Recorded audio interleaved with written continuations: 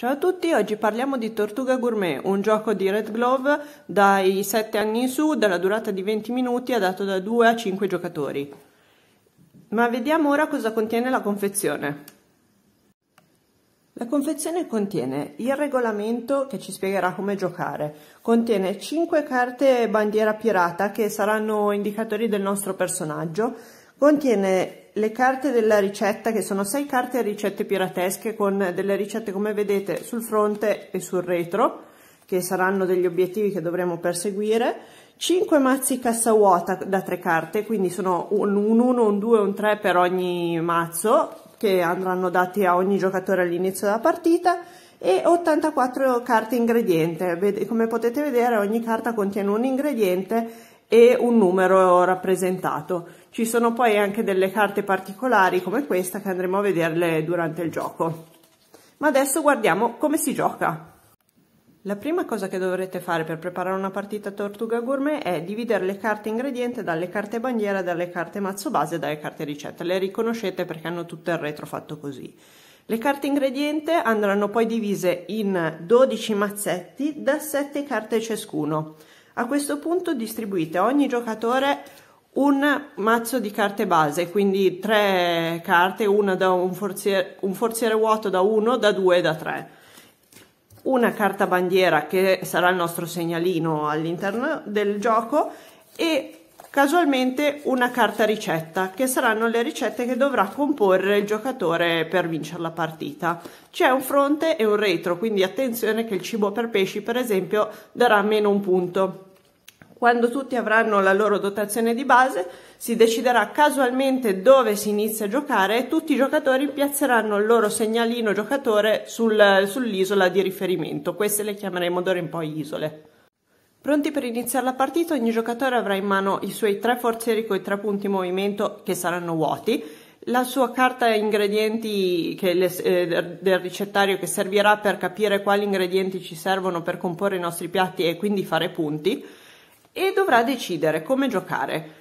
Praticamente ognuna di queste carte, come vedete, ha un numero raffigurato che ci dirà di quanti punti movimento mi posso spostare, in senso orario o in senso antiorario a mia scelta.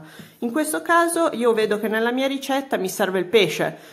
Avendo il forziere da 1, lo scarto lo metto nella mia dispensa e vado a muovermi di 1 per prendermi il pesce. Il pesce che ho preso verrà aggiunto alla mia mano. Come vedete il pesce oltre ad essere un ingrediente avrà il numero 1 quindi mi darà un punto movimento quando vorrò giocarlo. Tutte le carte giocate andranno messe nella dispensa, la nostra dispensa sarà l'accumulo di ingredienti che avremo a fine partita per provare a completare più ricette possibili del nostro ricettario. Ricordatevi che la dispensa potete consultarla quando volete per vedere gli ingredienti che avete accumulato e che la partita finisce nel caso di due o tre giocatori quando finisce uno dei 12 mazzetti, nel caso di 4 o 5 giocatori quando finiscono due di questi 12 mazzetti. Ci sono delle carte speciali in questo gioco, adesso ve le presento. Le carte speciali che potrete trovare sono per esempio il doblone che a fine partita vi darà un punto ma che ovviamente non conta come un ingrediente, questo qua che è la carta ingrediente segreto, la carta ingrediente segreto vi funzionerà come un jolly, cioè potrete usarla per sostituire un qualunque ingrediente in una qualunque ricetta, ma ricordatevi che se a fine partita vi rimane spaiata anche lei varrà meno un punto. Ci sarà la carta isola solitaria e la carta isola affollata. Queste due carte serviranno per potervi muovere verso un'isola di destinazione a vostra scelta. In questo caso sarà solitaria, quindi dove non è presente un altro giocatore.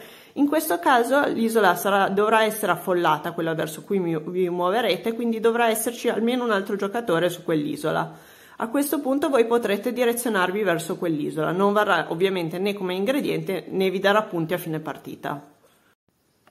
In questo caso stiamo facendo una partita a tre giocatori, il giocatore verde ha appena esaurito l'ultimo mazzetto e quindi la partita si conclude. La... Rimango con delle carte in mano che andranno aggiunte alle carte della dispensa, quindi quelle che mi restano in mano saranno da aggiungere alla mia dispensa. Andrò a prendere la mia dispensa, andranno rimosse le carte forziere base perché ovviamente non contengono ingredienti, andranno rimosse le carte isola segreta perché ovviamente non mi danno punteggio, e dopodiché con le carte restanti andrò a conteggiare i punti.